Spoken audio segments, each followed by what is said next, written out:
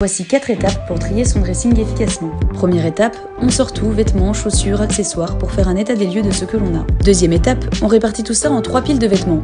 Ceux que l'on garde sans hésiter, ceux dont on peut se débarrasser sans trop d'état d'âme et ceux pour lesquels on hésite. Pour cette dernière, il faut utiliser son cerveau rationnel. On peut par exemple se demander si le vêtement est confortable, en bon état et adapté à notre taille et notre morphologie. Interrogez aussi votre boussole interne façon Marie Kondo pour savoir si le vêtement vous plaît ou non. Voici des bonnes raisons de garder un vêtement si on l'adore mais qu'il est taché, troué, démodé ou difficile à porter.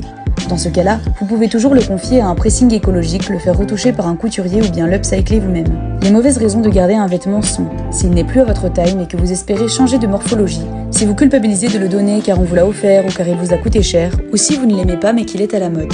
Étape 3.